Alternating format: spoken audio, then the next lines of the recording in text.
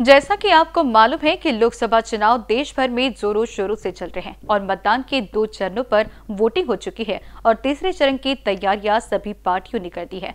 इसी बीच दिल्ली में राष्ट्रीय लोक जनशक्ति पार्टी के राष्ट्रीय अध्यक्ष पशुपति कुमार पारस ने पार्टी कार्यकर्ताओं को आदेश दिया कि वह दिल्ली की सभी सातों सीटों के लिए एनडीए गठबंधन को मजबूती दिलाए। आरएलजेपी के दिल्ली प्रदेश अध्यक्ष आनंद कुमार ने जानकारी देते हुए बताया कि हमारे नेता पशुपति पारस जी के आदेश का हम कार्यकर्ता तन मन धन से पालन करेंगे और दिल्ली के सभी बूथों पर रालोजपा के पदाधिकारी मौजूद रहेंगे। साथ ही बीजेपी के सातों सीटों के सभी बूथों पर 10-10 कार्यकर्ताओं की टीम बनाई है, जिसमें जो पूरी तरह से ध्यान रखेंगे और पशुपति कुमार पारस को रिपोर्ट सौंपेंगे।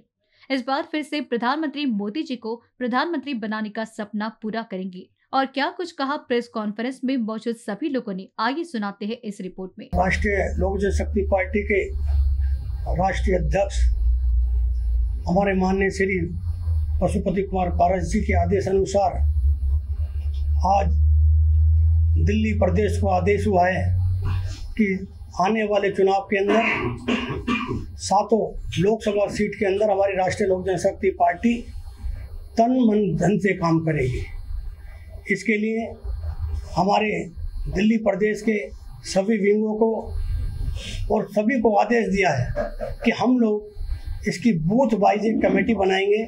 दिल्ली के अंदर जितने बूथ होंगे, उन पर हम लोग, हमारे राष्ट्रीय लोक जनशक्ति पार्टी के दस दस कार्यकर्ता कम से कम उस बूथ पर होंगे। और मोदी जी का जो सपना है कि अब की बार 400 पार और मैं समझता हूँ कि दिल्ली के अंदर कोई ऐसी ताकत नहीं है कि जो सातों की सातों सीटें हम बीजेपी की ना निकालें। क्योंकि इसके अंदर हमारा जो राष्ट्रीय लोक जनशक्ति पार्टी का संगठन बहुत मज़बूत है ऑल ओवर इंडिया में मज़बूत है।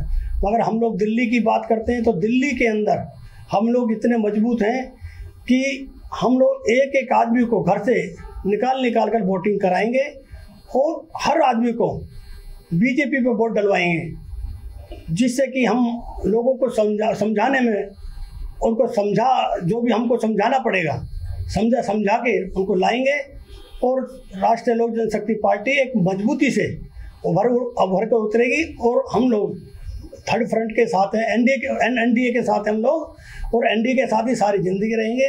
ये हमारे आदेश अनुसार हमारे राष्ट्राध्यक्ष पशुपति पारस जी का अपना निर्णय है कि हम मरते दम तक एनडीए के साथ रहेंगे जब तक ज़िंदा है, जब तक एनडीए के साथ रहेंगे इन न्यूज़ के लिए नई दिल्ली से ब्रजेश कुमार की रिपोर्ट।